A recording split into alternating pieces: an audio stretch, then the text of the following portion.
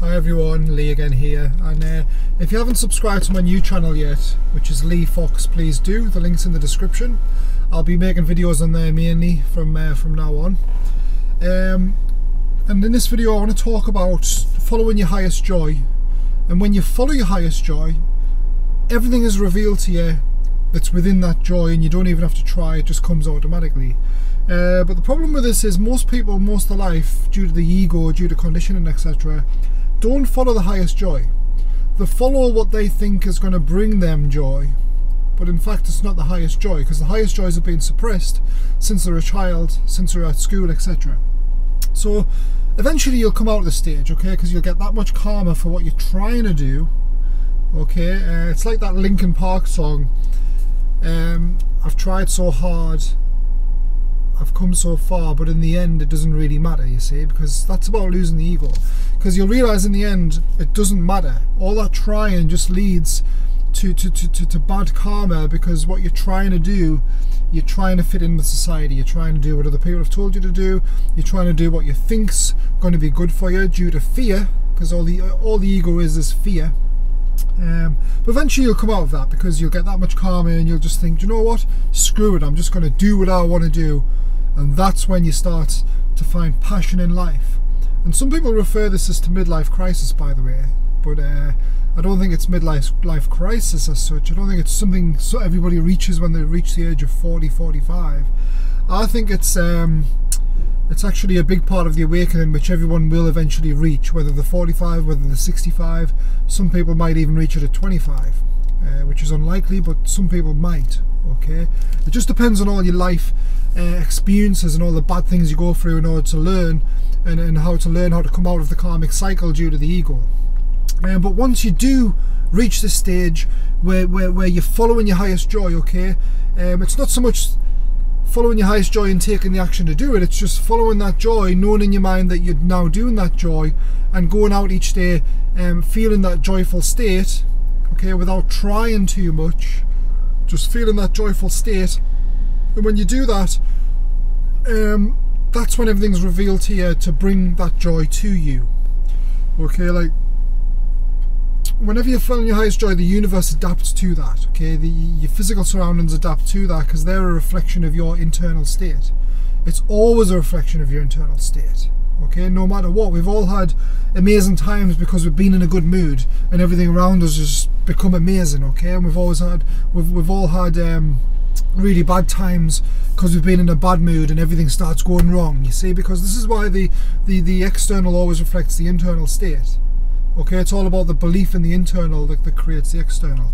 So so we, we've established now that the reality everything we see around us all the physical matter even other people uh, are a reflection of self. Okay so they're just an illusion based on what we feel and think because we are god. We are the one who decides what reality we want to experience you see? So so it's it's it's more of a state of just like kind of being in that state okay? It's not trying anymore. When you're following your highest joy okay you don't need to try. Because there's nothing to try for because you're already in a state of joy you see? This is the paradox of it. So so when you're in that state of joy um, and you just then just stay in that state of joy okay? This is what um, the the highest level of Buddhism does. The Buddhists do the, the very highest level Buddhists and this isn't going praying in the mountains. This is actually imagining something joyful in your mind feeling that state of that imagination and feeling that joy holding it okay that's why they meditate so they can hold it and when they hold that state of joy and then release the image of it and just be in that state of joy and that feeling and go out and do everyday things, that's when everything starts to come to you automatically. You don't even have to try. So say you're you're you think, oh, I'd like to say go out for a massage one day, or I'd love to, do a specific thing. Okay, you don't need to go out and look for it. You don't need to go out and actually say, right, I'm going to go out today and I'm going to look for this specific thing. All you need to do is get in that state of joy, and when you do that, um, forget about that thing because that thing's going to just show up to you right in front of your face out of nowhere and you'll be like oh my god you see because it, it's all orchestrated based on that internal state. Um, so so so so think about that guys. Try that. Try try going out and just being in a state of joy. Uh, try focusing on what you really like, not what society tells you to like, okay? Because a lot of people are just following what society tells them, okay? The, the, a song will come out and it'll be played on every radio station, every TV channel, and the people who are not awake yet still watch all these channels and think this is reality. So, so they're not in this state where they can do this, you see, because they're too busy being told by everything else what they need to do. So they're like a puppet in the matrix and they're not the creator of their own matrix. And once you get out of this stage, um, then then you can become a creator of your own matrix, and then you can choose what you want to experience based on your real passions in life.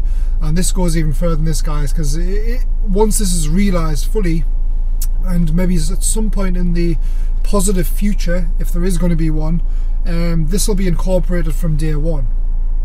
Okay, this will be incorporated from day one, and when all the kids go to school, they'll not be told what they need to learn. They will choose what they want to learn based on their passions and when this happens we can get into an orchestration where everything just flows. Everything's everyone's doing the right thing. There's no hatred there's no um, jealousy there's none of this because everybody's doing what they love and um, there's no corruption in it all like there is now you see so so so this is a very important stage of the awakening guys follow your highest joy whatever you love doing just do it go out feel that loving state, focus on positive things, focus on what you love doing, and then enjoy it. Okay, enjoy it just by being in that loving state, and then everything will just come to you. Okay, so so think about that, guys. So that's it for this video. Uh, thanks for joining us today. Sorry I haven't made a video for a while, but I've been a little bit busy and I haven't had much um, things come up. I haven't had many downloads because normally I'll just be walking down the street and something I'll say make a video about this and I'll just do it. And that's what's happened today. So so the next time that happens I'll make a new video guys. Shouldn't be too long. Uh, if you haven't already please subscribe to my new channel Lee Fox. If you're already on this, this channel that's great. If not please do that now and because uh, my future videos are going to become even better and I'll see you guys there. Have a nice day